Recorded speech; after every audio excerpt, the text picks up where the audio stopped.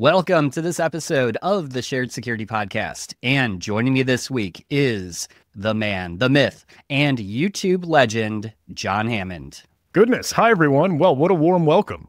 Great yes. to be here. Thanks for letting me join the party.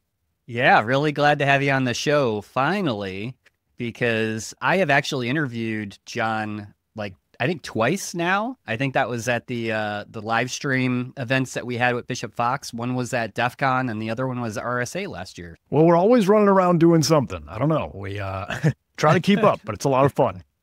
Yeah, yeah. So uh, I'm really happy to have you on the show today. And uh, maybe for our listeners, maybe the ones that are maybe living under a rock or something that might not know who John Hammond is, can you give a uh, quick intro to who you are? Oh, absolutely. And thank you so much. Well, hey, hi, hello. Uh, my name is John Hammond. I'm a security researcher at a company called Huntress during the day. Uh, and then at night, when I can fit it in, hey, I, yeah, try to put out ed- other educational content and videos and training material, uh, either on YouTube or now a couple other platforms where I'm having a lot of fun, just trying to share cool stuff in cybersecurity and get the messaging out and make folks more and more aware. Now, uh, if you don't know, John has a YouTube channel that has uh, you're you're getting close to actually what two million subscribers. I think you're at like 1.9 now. Well, yes, it, it is. It is a blessing. I'm very, very fortunate, uh, and I'm just so pleased that that has blossomed uh, over the years. It's funny. It started way, way, way early in my life, even like before career time. You could find videos way back to like 2009. I think another channel that is now the main one has videos in 2011. Um, but it has been a labor of love. It it varies between love and labor, some more than the other, but uh, it's a, it's a lot of fun as uh, since I, I do have a YouTube channel for the show for the podcast, I definitely uh, know what you mean oh, by yeah. uh, a labor of love for sure. Uh, YouTube is a ton of work. Like I didn't actually realize that until like I started taking my channel a little more seriously, and the whole YouTube algorithm thing is like it, it's a whole game that you have to play, isn't it? Oh yeah. And it's funny. I, I don't know. I think there are maybe a lot of different perspectives, opinions, some folks, uh, and their impression of, oh, whether you play the game or whether that's disingenuous or, well, really the goal is to, I don't know, I, would like to help educate and, and give this to as many folks as possible. So you sort of have to play the game. And that's, I don't know, you get the line, don't hate the player, hate the game thing, blah, blah, blah. Yes, yes, definitely.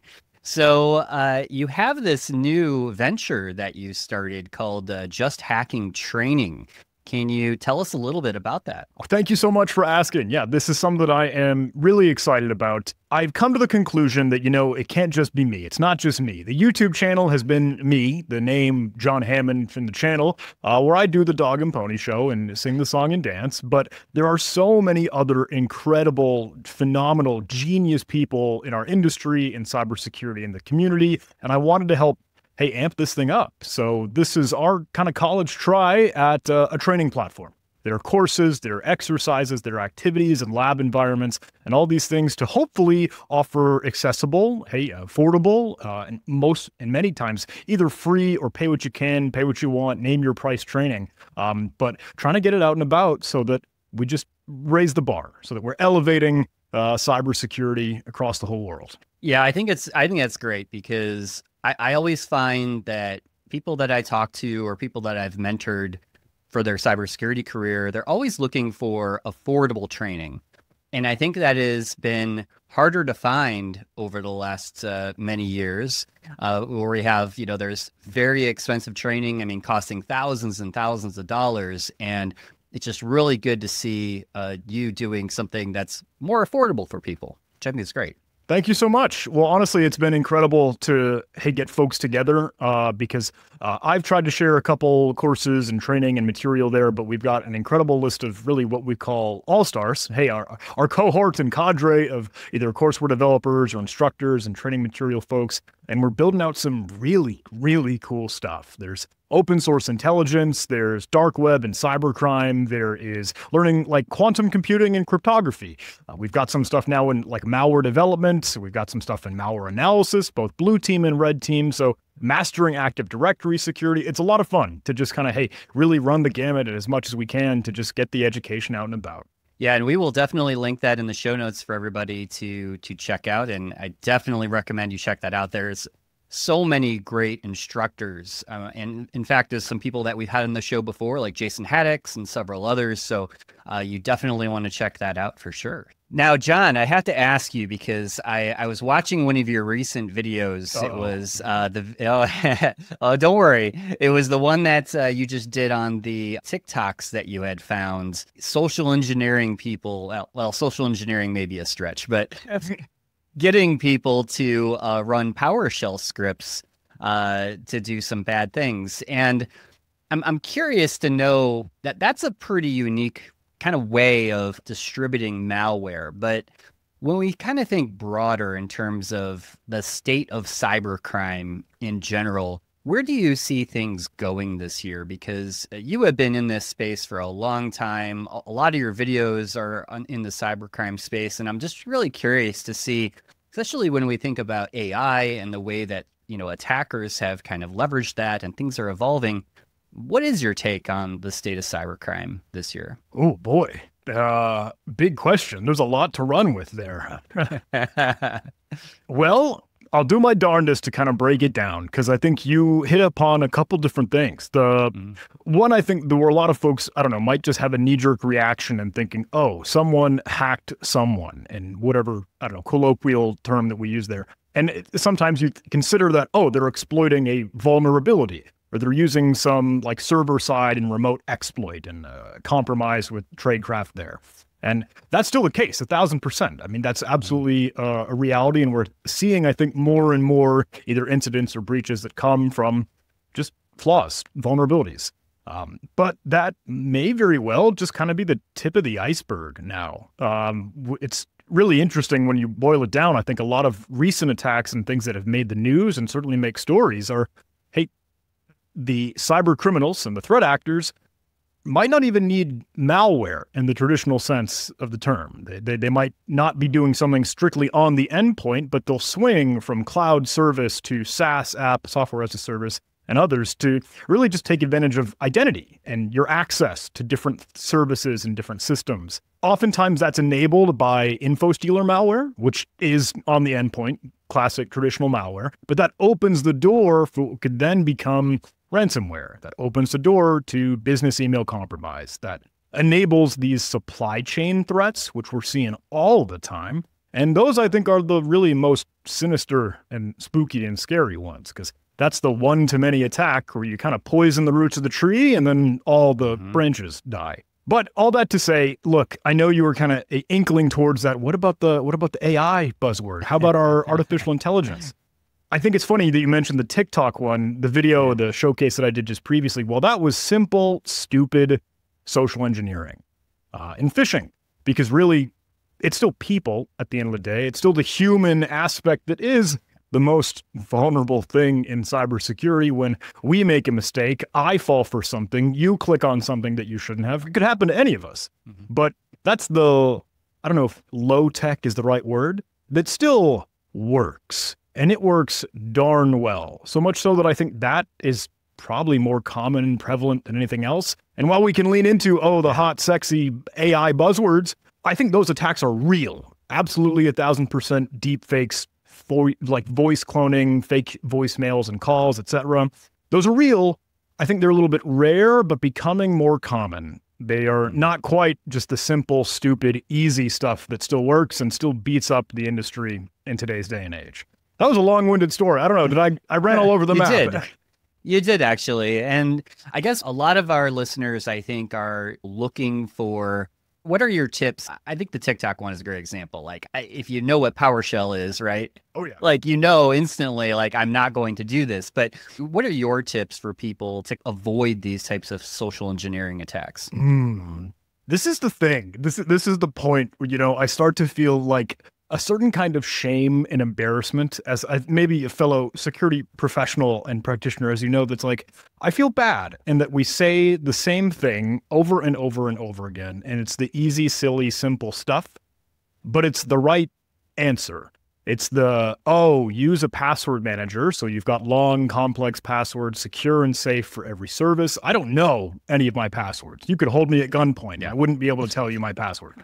Um, Hey, yeah. get that antivirus running. Make sure if you've got the capability for it, EDR, endpoint detection mm-hmm. response for businesses and organizations. Be smart with what you do, you click on, you install, uh, etc. And I think, if I may, and I don't want to beat a dead horse, but you mentioned just exactly if you knew what PowerShell is, you clearly wouldn't mm-hmm. fall for a malware or scam or deception and lies like this. So, as I know folks not, may not always be receptive to it, but the absolute best answer I think we've got is that education. It's just making sure yeah. folks know and understand what this all is. Uh, so I hope we are moving the needle and really making a difference to get that message out because you're right that, hey, you just got to have that context and understanding. Yeah, I completely agree with you. I think education is the big the big thing here. And I always encourage people, you know, in our industry to educate friends and family members, especially our friends and family that aren't as tech savvy as as you and I, John, but um, really trying to pass that knowledge to them and and break it down in a way that they can actually understand it, right? So they may not know or care what PowerShell is, right. but it's about the actual attack itself and the techniques that are being used. If we could do more of that education, I think uh, everybody would be a little bit better off. Well, hey, I think we're all in it, and I hope we're doing the yep. right thing. Yes, that, that's right. That's right. So uh, you do have a couple things coming up that I wanted to give a plug for. So uh, my employer, my my day job, Snyk, uh, where I work, John's gonna be hosting something called Fetch the Flag on February 27th from 9 a.m. to 9 p.m. Eastern Time. So, John, you want to talk a little bit about this uh, awesome event coming up? Absolutely. And thank you again and again. And I, I know I feel like I'm kind of running around trying to do everything that I can, but it's a blast. It's so meaningful and very, very worthwhile. Uh, and Snyk uh, is an incredible partner. They, are great friends, they're great people. Uh, and I'm always so, so grateful for their support. This is, I think, the second time now that we've mm-hmm. been putting together the Capture the Flag. Uh, and the nickname with Patch, the Snyk mascot, is Fetch the Flag. But that is where we get hands on keyboard. We get to go practical, we get to go application based, we get to beat up and solve some challenges or tasks and activities and understanding web security, like web applications, or even binary exploitation, low level programming and uh, programs and applications and memory corruption. Maybe some crypto, maybe some forensics, maybe some cloud security. A lot of fun with Capture the Flag is that you get these Jeopardy style categories and you can kind of go explore and chase whatever is most interesting to you but it should be a ton of fun, uh, and I'm really looking forward to the game. Yeah, and so we will have that linked in the show notes for anybody that wants to register. So, plenty of time when this episode is released. So, if you are interested in that event, definitely register and check it out. It's free, free to register. Well, if I may sprinkle in one little tidbit, I think it's yeah. cool when we have uh, worlds collide here, because while we've got this upcoming Snyk Fetch the Flag and CTF event for 2025, uh, we were just discussing Just Hacking Training earlier, that training platform. And alongside the courses and the exercises and the activities, one thing that we've also got included there is the Capture the Flag archives. So while, oh, the game, the competition event might run for a weekend or for a day, and then it's dead and gone, totally ephemeral, temporary thing. Well, one of the things I love and I'm so excited about with Just Hacking Training is that we can keep that permanently accessible on demand whenever you want to spin up the challenges, even from like 2023 Snyk fetch the flag. That's all available right there for you. And I hope some folks play.